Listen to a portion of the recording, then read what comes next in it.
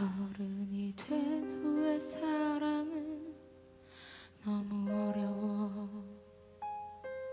예전엔 정말 알지 못했던 사랑을 받으면 받은 만큼 또 주고 서로 이해하고 참아야 하나. 사랑은 너무 어려워.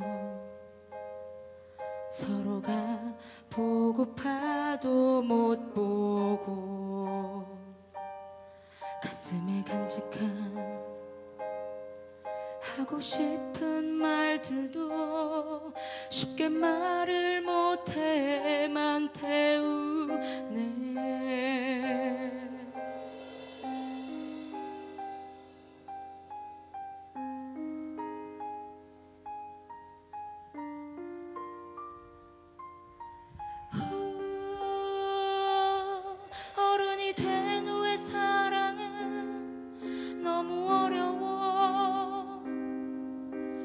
마음대로 하지 못하나.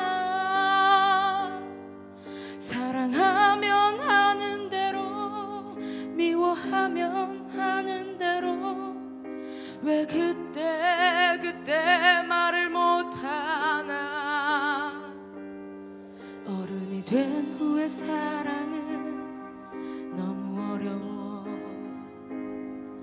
조금 질투가 나도 표현 못하고 그냥 그렇게 모른 척 하면서 혼자 가슴 아파 울고 서 있네